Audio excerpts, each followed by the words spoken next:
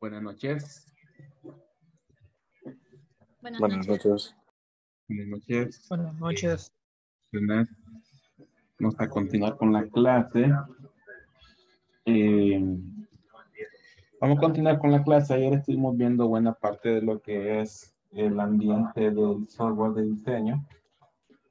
Eh, bueno, de cálculo de sistemas, sistemas de bombeo, aunque el software también puede desarrollar sistemas de aire comprimido, sistemas de vapor, sistemas de cualquier otro tipo de gas y cualquier otro tipo de fluido, según lo que vimos, lo que vimos ayer.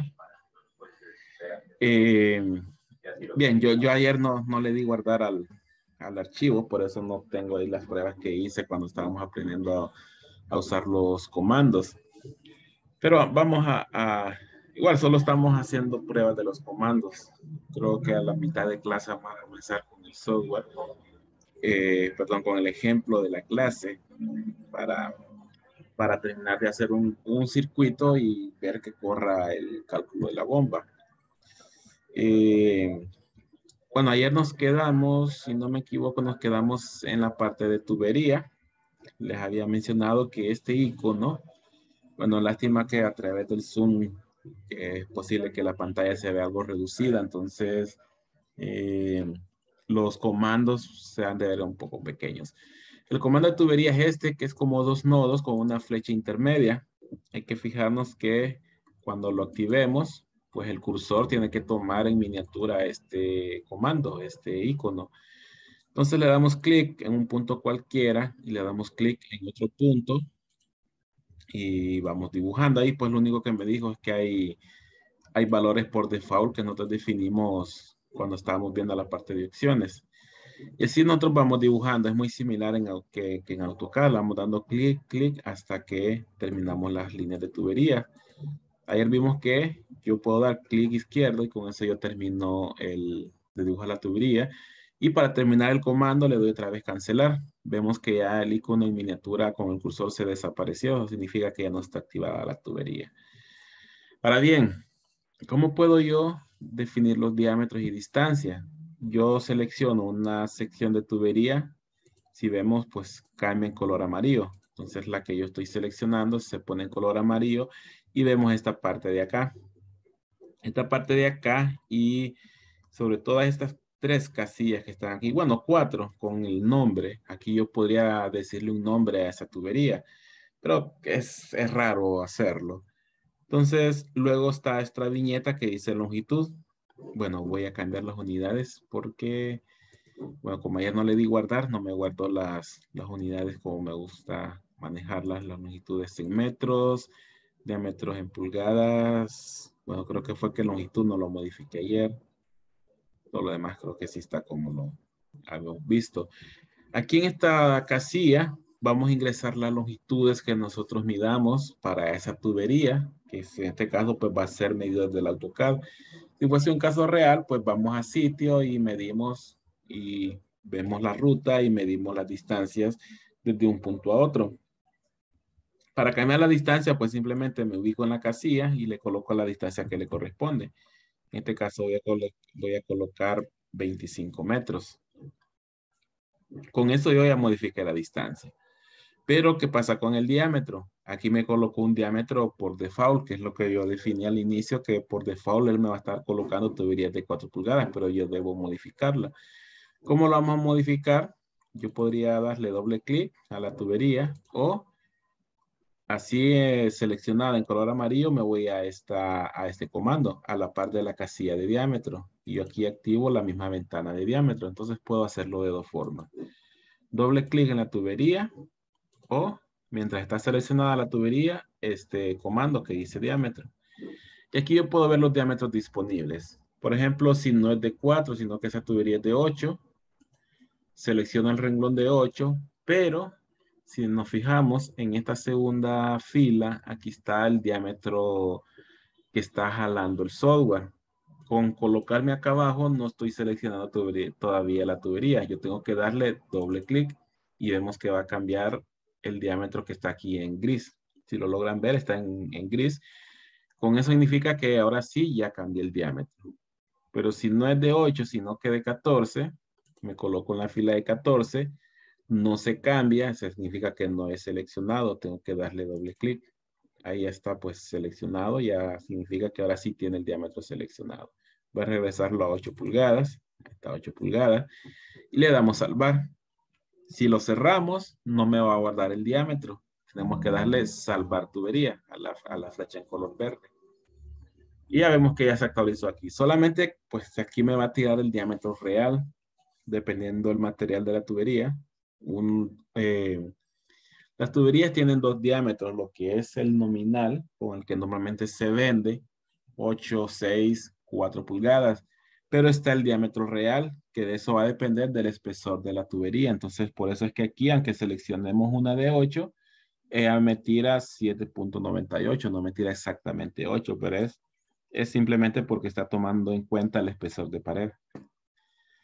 Bien, eh, material, si yo quisiese cambiar el material, pues aquí tenemos una gran cantidad de materiales. Lo mismo, nos vamos aquí donde dice rugosidad, pero a la par donde dice material. Y me va a habilitar todos los materiales posibles. Tenemos aluminio, bueno, esto lo hemos visto al inicio, cobre, HDPE, que es como un neopreno duro, PVC, diferentes tipos de PVC, acero inoxidable, acero galvanizado y en este caso el acero cédula 40. La cédula pues es, eh, la cédula es una forma de medir el, espesor de, de las tuberías. Bien, hasta ahorita vemos cómo cambiar la longitud de la tubería y el diámetro de la tubería. Pero ahora hace falta los accesorios que voy a colocar aquí. Para eso vemos esta este comando, que es como una válvula, y un cero. Ese cero pues indica cuántos accesorios yo le he agregado a esta tubería. Si yo selecciono aquí, me va a abrir esta ventana. Esta es la ventana para agregar accesorios a esa tubería. Voy a cerrar la ventana nuevamente. Y siempre tenemos que tener eh, activada la tubería. Entonces en esta tubería que está en color amarillo, mientras está activada, yo selecciono este comando, me habilita todos los accesorios que yo le puedo agregar a esa sección de tubería. ¿Qué le puedo agregar? Vemos que default, por default, me agarra ya el diámetro de la tubería. Entonces yo puedo agregar codos, radio corto, radio largo, puedo agregar codos de 45 grados, de 90 grados, puedo agregar U, puedo agregar válvulas con puertas, válvula globo. Vamos a ver qué más. Válvulas de bola, válvula mariposa, válvula check, dos tipos de válvula check, tres tipos de válvula check. Eh, bueno, mejor dicho, cinco. Uno, dos, tres, cuatro. Cuatro tipos de válvula check.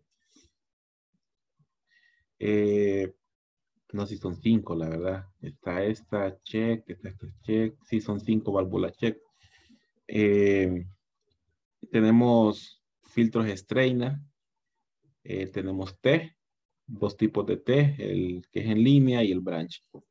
Entonces, todos esos tipos de accesorios podemos agregar. Imaginemos que nos vamos al plano y vemos que esa tubería que está ahí tiene un cambio de altura. Si tiene un cambio de altura, pues va a tener mínimo dos codos. Entonces, nosotros seleccionamos el codo, pero nuevamente, con solo darle un clic, no es seleccionado codo. Esta parte de arriba que está en blanco, ahí es donde se me indica qué accesorio yo he seleccionado para esa tubería. Como está en blanco, no he seleccionado ninguno. Entonces, digamos que yo tengo dos codos. Le doy doble clic al codo y ya vemos que se ubicó en la parte de arriba. Y aquí, donde está este menú desplegable, yo voy a seleccionar cuántos codos son los que yo le voy a asignar.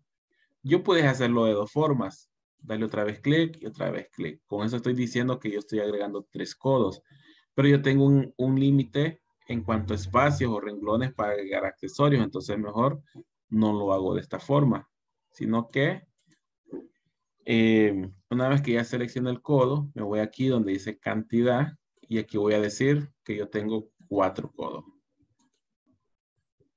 Eh, bueno, porque se desapareció. Bueno, ahí está.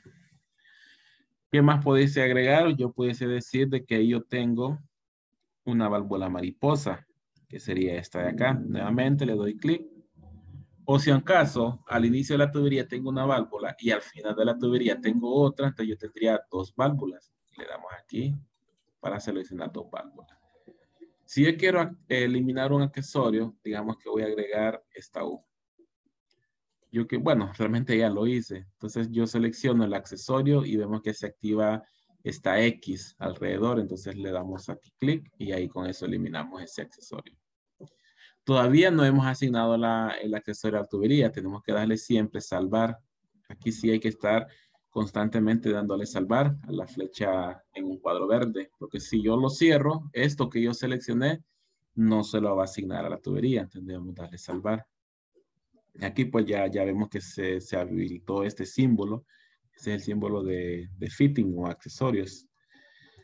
Bien, también cambió aquí un poco eh, esta check de incluido. Y el cero que estaba alrededor del símbolo cambió a número 6. Eso es porque tengo seis accesorios agregados en esta tubería. Bien, así agregamos a esta tubería, eh, le agregamos accesorios, le cambiamos distancia y le cambiamos diámetro.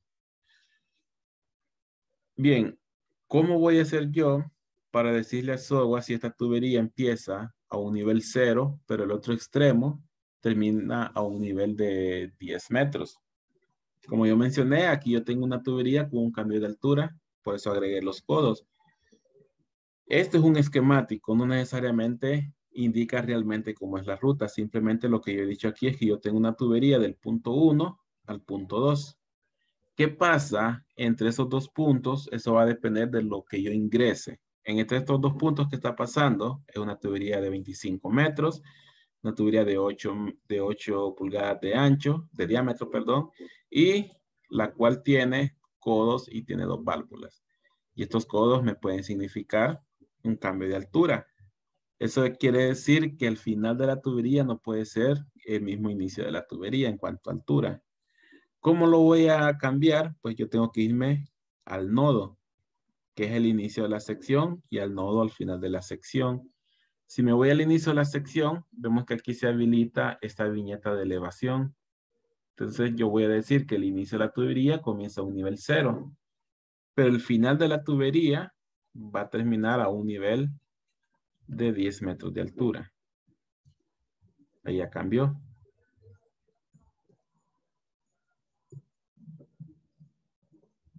Si vemos cuando yo selecciono la tubería, siempre se habilita aquí el, bueno, siempre queda habilitado, este, este nodo no sé por qué no se deshabilita. Ahí está. Eh, ahora sí ya está habilitado. Eh, bien, si yo no, no toco el codo, aquí está deshabilitada estas estas casillas, no puedo editar el cambio de altura. Entonces yo tengo que irme a seleccionar el nodo al final, al inicio y al final de la tubería para decirle el cambio de altura que tiene esa tubería. Si yo propicio o yo asigno un cambio de altura mayor a la distancia de la tubería, vamos a ver que el software me va a tirar una alarma.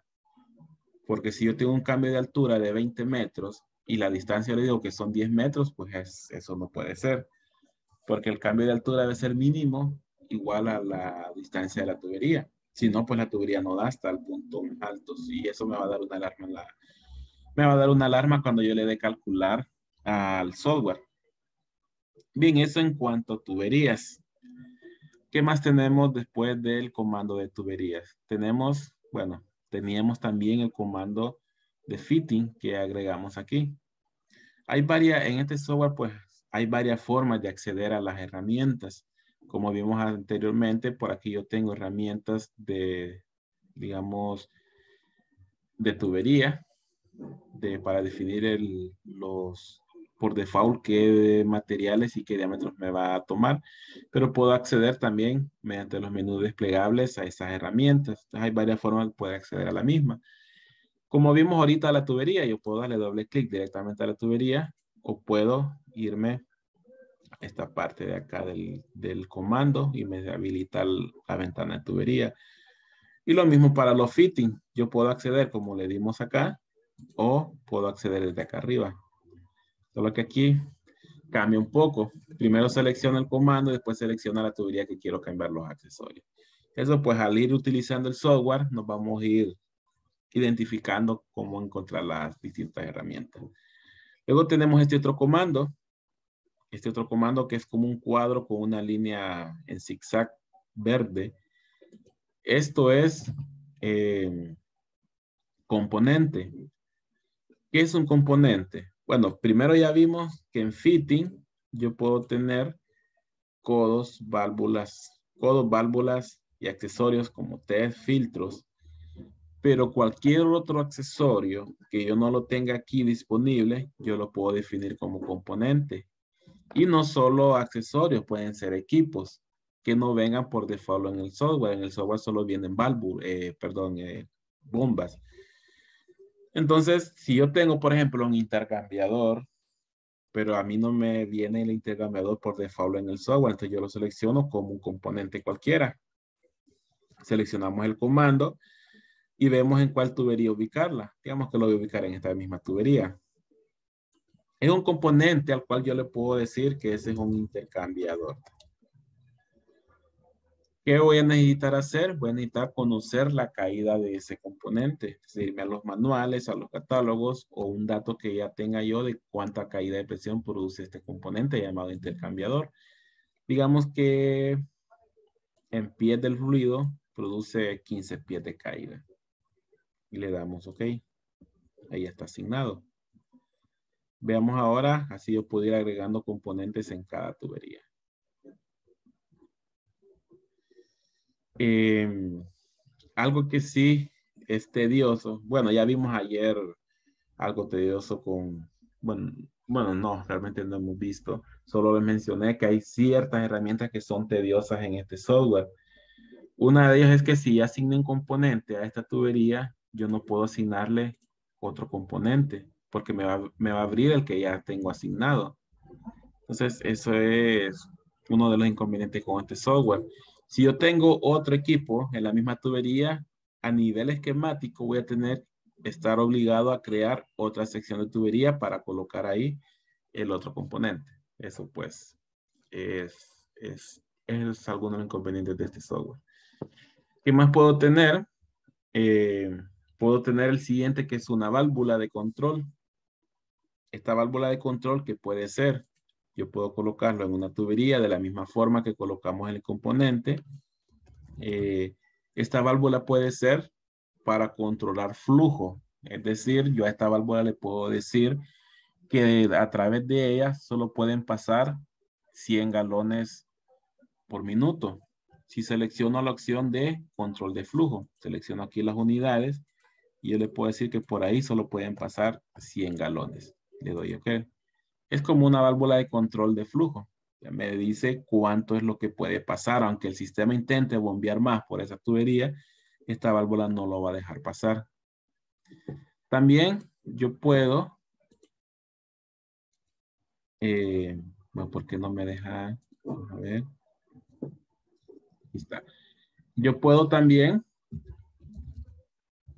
controlar lo que es presión en lugar de flujo, controlar presión. A este yo le cambio la opción y le pongo aquí que aquí controle máximo 50 PSI. ¿Qué quiere decir? Que si en la tubería hay una presión de 75, al cruzar la válvula va a haber una presión de 50. ¿Cuánto fue que le puse? Sí, de 50. Es decir, trabaja como una reguladora de presión. La primera sería una reguladora de flujo y la segunda sería una reguladora de presión. Bien, también puedo asignar bombas. Una bomba la voy a asignar siempre sobre una tubería. Yo no la puedo colocar afuera, como el tanque. El tanque lo podíamos colocar en cualquier punto del ambiente, del ambiente de trabajo, mientras que una bomba no. La bomba sí la tengo que colocar sobre una tubería. Aquí pues me va a preguntar, aquí lo que me está diciendo es que voy a agregar una bomba a esta tubería. Le damos que sí. Y vemos que aquí me abre esta ventana, me abre una gran cantidad de opciones, no las vamos a poder ver todas, pues obviamente por algunas dependen de que haya una librería de bombas, pero por nosotros, como no, no conocemos la bomba todavía, vamos a setear la bomba eh, mejor dicho, estamos buscando los resultados para poder seleccionar la bomba. Entonces, no puedo por ahorita hacer una selección de bomba que me dé un modelo, un tipo, unas revoluciones, tamaño de, del impeller. Eso no lo conozco todavía. Entonces, simplemente nos vamos a limitar a ponerle nombre a la bomba. Sería bomba 1. Aquí donde dice nombre. Y podemos setear el flujo. Decir que esta bomba va a estar seteada eh, en galones por minuto, ¿a cuánto? Eso va a depender de mi red. Digamos que 500 galones por minuto. Le damos salvar bomba en la tubería. Ahí está salvada. Nos colocamos. Vemos que se habilita un menú desplegable de esa tubería y me despliega la bomba en la parte final, seteada a 500 galones por minuto. Es importante, que eso también lo vamos a ver cuando corramos, que cuando yo setee el flujo de una bomba, ese, esa cantidad que yo le ingrese coincida con la cantidad de, de demanda, la sumatoria de demandas que yo tengo habilitadas. Si tengo dibujadas 10 demandas de 10 galones cada uno, suman 100 galones por minuto. Entonces la bomba tiene que estar seteada para 100 galones por minuto. Si no, me puede dar un error. O lo que puede pasar es que si alguna demanda no está definida, la diferencia de galones me la va a mandar hacia esa demanda. Es decir, yo tengo 100 galones y la seteé en 500, los otros 400, el sol va a buscar descargarlos en alguna demanda que esté libre. Entonces, son algunas de las cosas que hay que analizar cuando ya hagamos corrida de, un ejemplo, del ejemplo. Bien, eso en cuanto a la bomba. ¿Qué más tenemos? Tenemos este icono que es una flecha color rojo viendo hacia abajo. Esto es la demanda. Por ejemplo, yo la selecciono, se habilita en miniatura el comando y busco dónde instalarlo. Siempre lo vamos a tener que instalar en un nodo. No lo voy a poder colocar en un ambiente donde no tenga tuberías. No la puedo colocar directamente sobre tuberías como los componentes. Me tengo que ir a un nodo. Un nodo que debe ser pues el nodo final de una tubería. Por ejemplo, puede ser acá. Y vemos que esta demanda tiene dos opciones. Tiene una demanda de, flujo que entra o tiene una demanda de flujo que sale. Obviamente nosotros cuando hicimos nuestros cálculos, el ejemplo, el primer parcial, todas eran demandas que salían de la tubería. Entonces tenemos que buscar la segunda opción, digamos 100 galones por minuto. Aquí podemos cambiar las unidades de medida. Normalmente lo medimos en galones por minuto y le damos OK. Eh, eso en cuanto a demanda. Luego tenemos este siguiente comando. Este es un, comando que a mí me sirve. Eh, yo podría decirle un comando de cierre de tubería. Con esto lo que yo hago es que, digamos, si yo tengo varias tuberías, digamos, si yo tengo otra tubería por acá, tengo otra por acá, y voy a asignarle demandas voy a asignarle a este 50 y a este le voy a asignar 300. Yo tengo tres demandas. Tengo 300, tengo 100 y tengo 50. Tengo 450 galones de demanda. Mi bomba debe estar seteada pues a 450.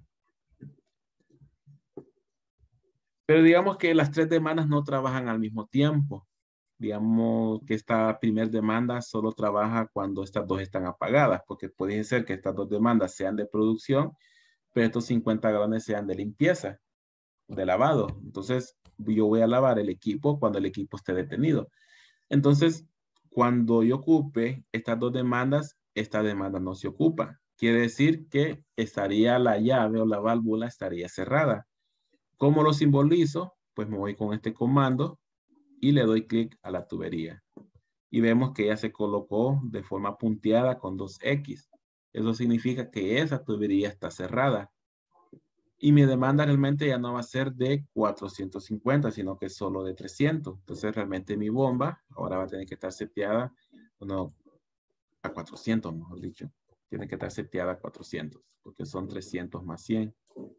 le damos salvar. Entonces, para eso me sirve este, comando, para abrir o cerrar una tubería. Y si aún así yo digo que solo va a funcionar la de 300, porque solo funciona una a la vez, Voy a considerar la más crítica, que sería la de mayor demanda, que es la de 300, y cierro esta válvula. Cierro esta tubería, mejor dicho. Con eso estoy simulando de que alguien cerró la válvula y no necesita estos 100 galones. Y mi bomba, ahora sí, tiene que estar seteada para 300 galones. Y así pues, para eso me sirve este comando. Luego tenemos el de texto. Esto pues eh, sirve para agregar texto. Me sirve para poner anotaciones. Vamos, proyecto de prueba. Puedo ponerle un color a ese, a ese texto, tamaño del texto, el estilo, tálica, no trae muchos estilos que digamos, y un ángulo de inclinación, 15 grados. Le damos OK. Ahí está. Proyecto de prueba.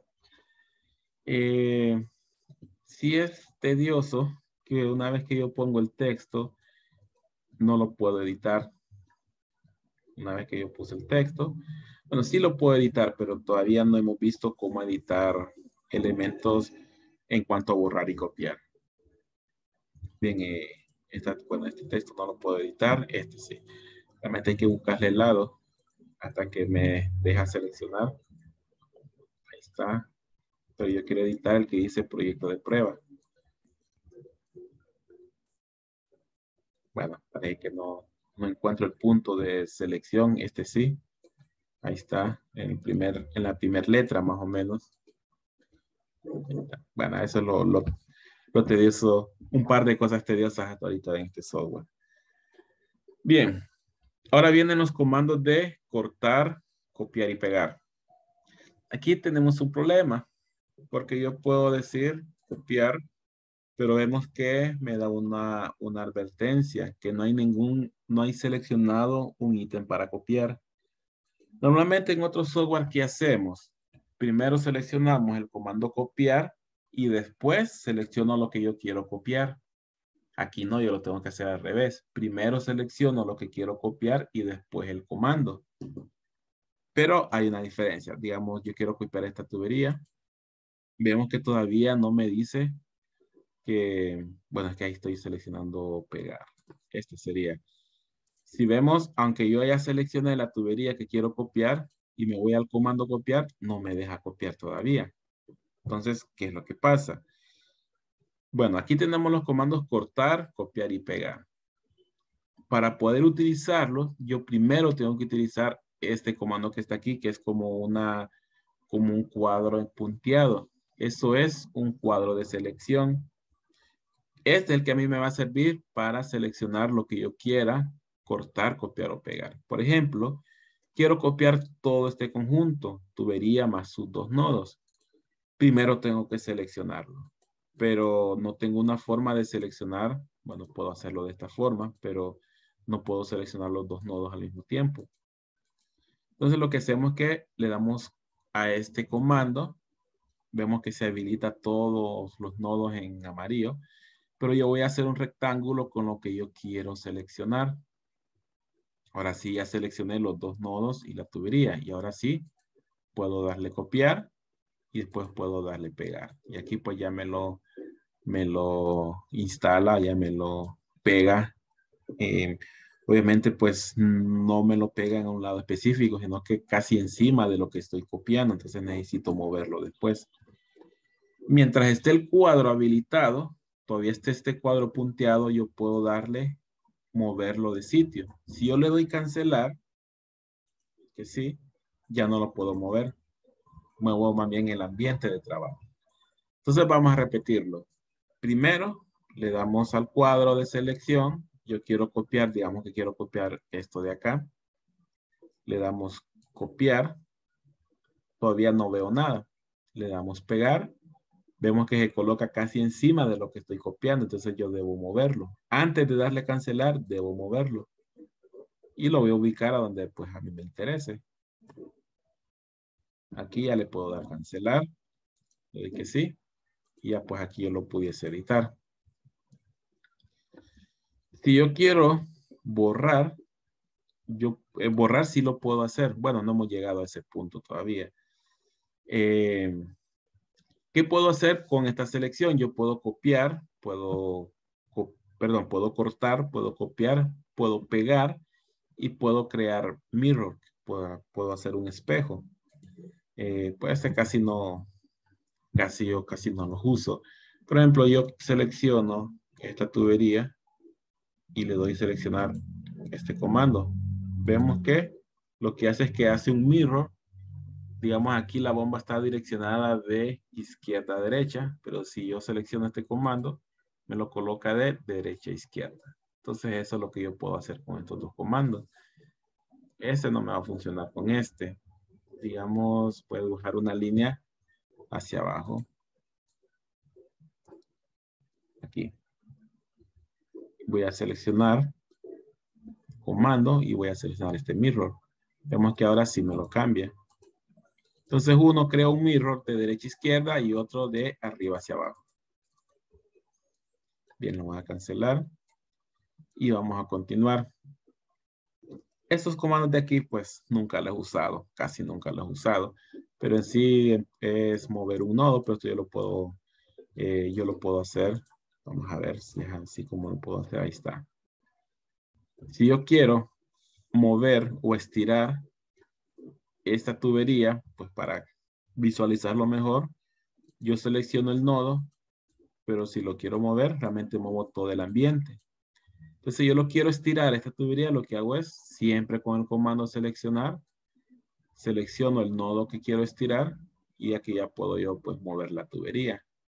Si fuese el de atrás, tengo que repetirlo, seleccionar esta parte y aquí ya puedo moverlo. Y por último está el comando borrar. Con este yo puedo borrar uno por uno. Puedo borrar este nodo. Puedo borrar este tanque. Pero si yo voy a borrar una gran cantidad de objetos, en lugar de ir uno por uno, ¿qué voy a hacer? Nuevamente selecciono todo lo que yo quiero borrar y le doy comando borrar. Y ahí sí ya borro todo completo. Entonces esas quizás son algunos de los comandos que es algo tedioso, que ya con la práctica pues ya uno termina acostumbrándose a, usarlo de esa forma. Bien, realmente ya vimos todo. Ya vimos todo lo que necesitábamos para aprender a usar el software. Eh, no sé si nos va a ajustar eh, la clase de mañana para hacer el ejemplo.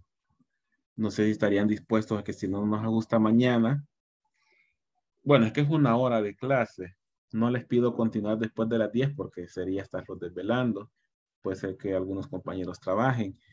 Pero si fuese necesario, ¿qué posibilidades hay de que el jueves tengamos un complemento de algunos minutos ahí para terminar en caso que no, no logremos terminar mañana? Este, pues ahí pues lo podemos platicar mañana y ahí mismo decidimos si continuamos o mejor tomamos algún tiempo del jueves. Eso pues eh, lo vemos mañana. Bien. Ya tenemos, voy a borrar todo lo que yo creo que me había hecho falta algo. Bueno, yo puedo agregar nuevos archivos yéndome a File y dándole aquí a Nuevo. Aquí vemos que ya nos habilita otra viñeta. así lo podemos nosotros agregar un archivo nuevo. Y a este sí le voy a poner en guardar como. Eh, lo voy a guardar como ejemplo. Bueno, ya lo había, ya había creado uno yo con ese nombre. Voy a, lo voy a reemplazar. Lo voy a reemplazar. Voy a usar este ambiente para hacer el ejemplo visto en clase. Y este es el ejemplo que todos van a desarrollar. Y el archivo que se genera, que sería este de aquí. Bueno, no está aquí, pero eh, no sé dónde está ese archivo guardado. Ese lo van a comprimir y lo van a subir a la carpeta de, de a la, al, link, al link que yo creé en, la plataforma. Eso pues va a tener un puntaje. Solo que quiero ver que por qué no ubico dónde está, solo me ubica este archivo. Bueno, Vamos a empezar entonces ahora sí a dibujar. Lo primero eh, es conocer el sistema. Digamos, aquí yo interpreto que por aquí tengo la zona de bombeo, tengo lo que es la cisterna, tengo el tanque elevado y la ruta pues de color verde que podemos interpretar que vimos anteriormente. Algo importante es que el software, a él no hay que dibujarlo como en AutoCAD, que en AutoCAD sí tengo que dibujar cómo es físicamente la distribución. En el software es un esquemático. ¿A qué me refiero yo? Que esta tubería, vamos a ver un ejemplo, esta tubería, vemos que aquí llega a este punto, aquí sube y luego hace otro cambio. Es como una, como una Z. Pero en el software, yo todo eso lo puedo dibujar simplemente como una tubería. Así como está esta. Y vemos que pareciera ser una tubería solamente horizontal, pero no. ¿Qué es lo que va a pasar? Que a este nodo le tengo que ubicar la altura final y a este nodo la altura inicial. Y como accesorio, agregarle este codo, este codo, las válvulas que están acá y agregarle la distancia total. Eso es una forma. Sin embargo, yo acostumbro a dibujarlo lo más parecido a como está realmente en el plano, porque si yo, este, yo genero esta memoria de cálculo y se lo envío a alguien, la idea es que pueda visualizarlo lo más fácil posible. Entonces yo recomendaría que aunque el software es esquemático, trata de dibujar lo más parecido a como tenemos realmente el sistema, para que pues así si alguien más abre el software, eh, y, solo ha visto el plano, le sea fácil identificar en el software dónde está cada elemento. Eh, eso pues es, una recomendación, pero el, no hacerlo pues no significa que, la corrida vaya a estar mal. Bien. Primero, recordemos también que en algún momento nosotros ubicamos los nodos en este punto, ubicamos otro nodo por acá, y eso es lo similar que vamos a hacer para dibujar nuestra red. Digamos, vamos a empezar. Voy a dibujar, voy a dibujar primero esta línea. voy a dar que sí. Luego seguiría la línea donde voy a ubicar la bomba. Coloco esta tubería. Luego tenemos un cambio vertical. Voy a dibujarlo hacia arriba solo para que sea lo más parecido posible. Luego sigue el nodo de la primera T, donde yo derivo hacia la torre. Entonces aquí voy a llegar a este punto. Siguiendo, voy a tener la otra T que deriva hacia la pila. Voy a dibujar otra sección. Luego voy a tener la parte que va hacia el intercambiador. Como el intercambiador lo voy a tratar como un componente, voy a dibujarlo de esta forma. Esta es la tubería antes del intercambiador. Voy a ubicar una sección pequeña para ubicar ahí el componente que sería el intercambiador. Y luego voy a dibujar lo que es hacia el tanque. Pero para que sea lo más parecido posible, lo voy a dibujar de esta forma, donde Después yo voy a subir y aquí voy a tener la descarga hacia ese tanque. Luego, ¿qué pasó con las pilas? Pues me hace falta dibujar esos ramales. Nos hace falta dibujar el ramal hacia esta, hacia esta torre y hacia esta pila. Entonces voy a dibujarlo. Eh, voy a dibujarlo de esta forma. Selecciono el nodo donde ya terminé. Voy a dibujarlo de esta forma solo para que sea parecido. Voy a dibujar también el de la pila. Y ya tenemos pues dibujada, ya tenemos nuestra, nuestro esquema general.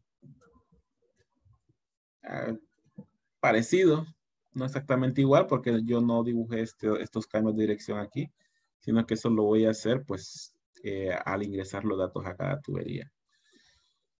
Bien, ya tenemos la distribución podríamos de repente colocar primero el tanque.